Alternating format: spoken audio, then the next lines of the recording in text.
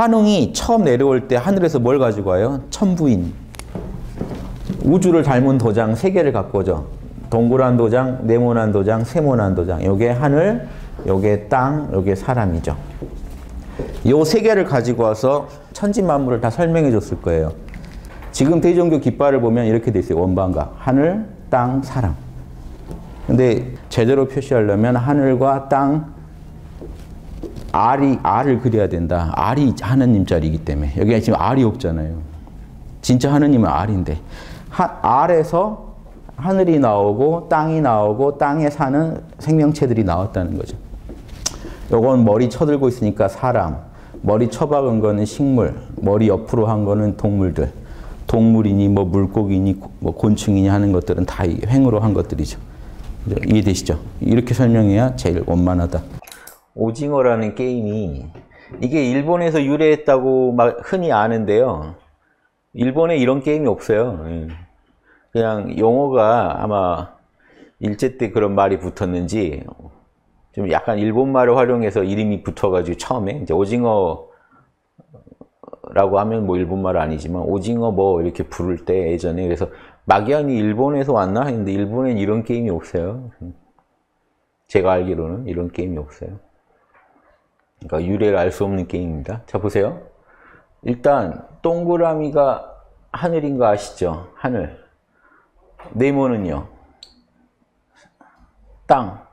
동서남북이 분명해서 땅이에요. 실제 땅이 동그랗죠. 네모나진 않죠. 그런데 동서남북이 선명한 물질이다 해서 네모로 표시한 겁니다.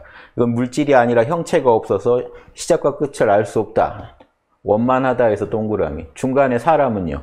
머리는 하늘을 닮았고 몸통과 발은 땅을 닮았다. 이해되시죠? 예, 그래서 사람은 사람, 세모다. 근데 딱 순서가 오징어 게임이 이렇게 그려놓죠. 그래서 이제 여기를 연결해 놓고, 여기 열어놓고. 자, 근데 게임이 보세요. 그럼 동그라미 있는 사람인데, 3일신고랑 같이 보시면 재밌어요. 제 강의 3일신고랑. 그러면 이 동그란 거는, 이 성명정 하면은, 우리 본성이다. 예. 우리 기운이다. 이쪽은 정, 물질 맡은 거. 이건 기운, 정기신이죠. 정기신이다. 그래서 여기는 하늘적인 거, 하늘적인 거, 인간적인 거, 땅적인 거. 이 세피로트랑도 통하잖아요. 세피로트, 세피로트는 위에 하늘이 되는 3개죠. 이거 하늘은 위를 보고 있어요. 밑에 이제 땅, 이제 사람하고 땅, 땅은 둘 다 음을 의미한다는 점에서 아래를 보고 있고요. 하늘은 위를 보고 있어서 세계적으로 설명하는 게 세피로트죠. 카발라에서 나온. 근데 요거는 지금 원방각, 우리 예전에 환웅이 하늘에서 내려올 때 천부인 도장 세 개 갖고 왔다는 게 요 도장 세 개 갖고 온 겁니다. 동그라미로 하늘의 이치를 가르쳐주고 네모로 땅의 이치를 가르쳐주고 세모로 머리는 하늘처럼 밝아야 되고 우리 몸뚱이 두 발은 땅에 딛고 살아야 되는 이 중간적인 존재 사람 얘기해 주면서 성명정답가라 너 안에 이니에이지의 본성이 들어있다. 너 안에 중간적인 에너지가 들어있다. 너 안에 물질적인 육체를 맡은 요소가 있다. 요 세 개를 두루 닦아라. 세 개를 두루 닦아라. 그러면 요게요. 이게 상단전이 됩니다. 기운 맡은 건 중단전, 물질 맡은 건 하단전. 그쵸?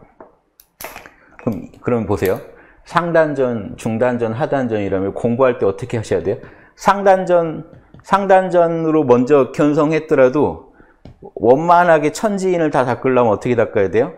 자, 여기 정신이면 정신, 기운, 예, 여기가 이제 우리 정액, 정액, 하단전 맡은 게 그러면 자 수련할 때 이렇게 된다. 상단전에 있는 정신이 하단전에 가서 때려줘야 됩니다. 수련이 이래요. 정신이 하단전에 들어가야 돼요. 하단전에. 그래서 여기 있는 정신이 하단전으로 들어가가지고 뚫고 올라옵니다. 중단전 뚫고 여기 꼭지점 밟으면 이기죠. 여기 밟으면 이기죠. 다시 정신 하늘로 돌아와야 됩니다. 그러니까 하늘에서 시작해서 땅으로 갔다가 그 이 하늘과 땅을 융합해서 다시 순수한 하늘성을 회복하면은 공부 하나가 끝나죠. 오징어 게임이 도가 들어있다. 천부 환웅이 천부 삼인 가지고 도 설명해 줄 때 이런 식으로 설명해 주지 않았을까요 옛날에? 쉽잖아요. 어, 머리가 하, 하늘인데 이거 형체가 없어요. 형체가 없는 정신만으로는 공부 못한다. 하단전에다가 물질 맡은 하단전에다가 먼저 정신을 집중해서 게임이 이러잖아요. 여기 있는 친구가 여기 통과해야 되잖아요. 밑에서부터. 그 다음에 중단전 통과해서 상단전 다시 돌아오면 원만하게 공부가 됩니다. 자, 이게 상중 하단전이 꼭 전기신만 얘기하는 게 아니에요. 예. 저기 3일 신고 풀이에는 상단전을 뭘 맡았다고 했죠, 제가? 상단전은? 예, 덕이요. 중단전은 지혜. 하단전은 능력. 위대한 덕과 지혜와 능력. 하나님은 대덕대해 대력하시다. 그런데 이, 이 상단전에 있는 이 정신이 자기 이 원만하게 공부를 이루려 먼저 하, 이 능력, 하철이라고 하죠. 삼일신고에서는. 아랫단계의 철인, 먼저 물질 세계에서 돌을 닦아가지고 철인이 되고, 그 다음 에너지 세계로 나와서 더 무형의 세계에서 지혜를 얻고, 더 나아가서 인간의 인의지 신의 본성을 온전히 구현한 덕을 갖추게 된다. 이게 삼일신고 공부 구조라, 구조라니까요. 하철, 중철, 상철로 올라가라. 한글 삼일신고 꼭 이번에 겸사겸사 읽어보세요. 성통공안, 단학 닦는 법도 되고, 위대한 성인이 되는, 철, 위대한 철인이 되는 방법도 하하기 상달, 아래에서 공부해서 위로 도달이라. 그런데 보세요. 그냥 밑에서 시작하는 게 아니라 반드시 머리, 정신이 아래로 와가지고 땅에서 다시 공부를 해가지고 자기 본래 모습을 온전히 찾는 과정입니다. 여기 재밌잖아요. 예전 조선 선비들은 동그라미, 네모는 똑같이 얘기하고 삼각형에 대해서는 얘기를 좀 다르게 했어요. 선비들은 태극이, 이게 결국은 태극인데 이 태극이 우주에 우리가 우리가 그릴 때 이렇게 그릴 수 있습니다. 우주의 알자리가 저게 지금 태극을 말하죠. 우주의 알. 그 알이란 놈을 자세히 보면 그 안에는 음양도 들어 있고 그러면 음양 음양 태극이고 태극이고 이렇게 하면 삼태극이고. 요거는 이제 수정란 안에 그렇게 기운이 들어 있는 겁니다. 우주의 알이죠 태극은. 근데 그 아래 이거 원방각은 세 기운이 들어 있더라는 거죠. 세 개의 로고스, 세 개의 기운. 그런데 선비들은 어떻게 봤냐면요. 이걸 세모라고 정확히 표현 안 하고 제가 읽은 매운우 곽정 선생의 글 보면은 하늘은 동그라미, 땅은 네모 똑같이 얘기해요. 예. 그럼 사람에 와서는 이 삼각형이 그러면 사람은 위로, 식물은 아래로, 동물들은 옆으로 이렇게 설명하면 쉽잖아요. 근데 이거는 원방각 철학을 우리가 배우고 보니까 이렇게 쉽게 설명했지. 선비들은 이렇게 생각했어요. 면호 선생 글만 봐도 사람은 이걸 직, 이 직사각형으로 표현했어요. 사람은 머리를 위로. 이렇게 넓게 하면요. 옆으로, 동물들. 똑같은 직사각형인데 이제 머리가 이쪽에 있다고 보면 식물. 이렇게까지 그림으로 그려서 표현합니다. 그래서 이걸 삼각형이라고 하면 이야기가 훨씬 쉬워지죠.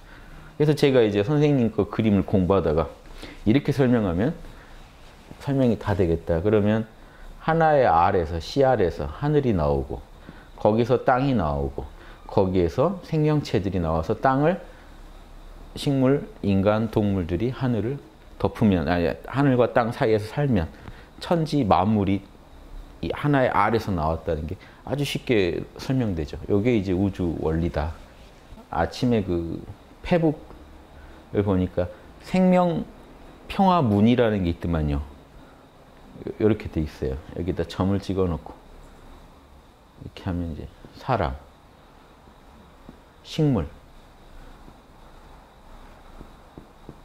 발레개짜리 들짐승. 그죠? 또 이렇게 하면 날짐승. 물고기. 이래가지고 이효리가 이걸 문신하 여기 몸에 새기고 있더라고요 팔에 이런 게. 좀 생명이나 그 환경 중시하는 분들이 생태 요 무늬를 쓰시더라고요 그래서 제가 이제 보고 재밌 어, 재밌다. 이분도 이거 이제 디자인 한 분은 요 아까 그 원리를 예전 어른들이 하던 원리를 알고 한 거죠. 그래서 그게 재밌어서 말씀. 이거를 우리는 이런 식인 거죠. 우리는 지금 알 점 찍고 식물, 사람, 동물 재밌죠. 여기 이제 땅에 있다. 땅에서 이루어진 일이다. 이제 이걸 또 하늘이 감싸고 있다. 이러면 이제 또 우리 이 학당 마크라 이게 재밌어서 내가 이거 천부경 때도 말씀드리고 뭐 기회 될 때마다 성리학 다룰 때마다 말씀드린 것 같은데 재밌어서 말씀드립니다.